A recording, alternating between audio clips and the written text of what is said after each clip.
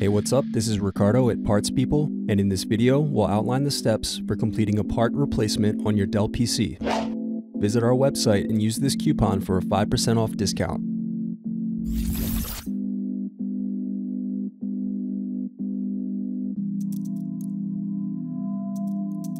First, unscrew and remove bottom base.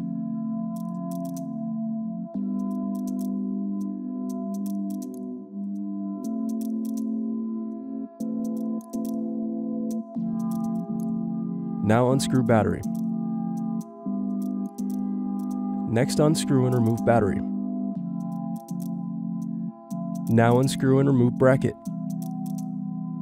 Next disconnect antenna cables and remove wireless card. Then disconnect display cables from motherboard. Now unscrew and remove display assembly.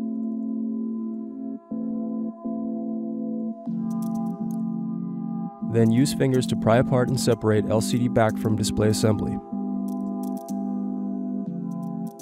Now unscrew and remove hinge rails.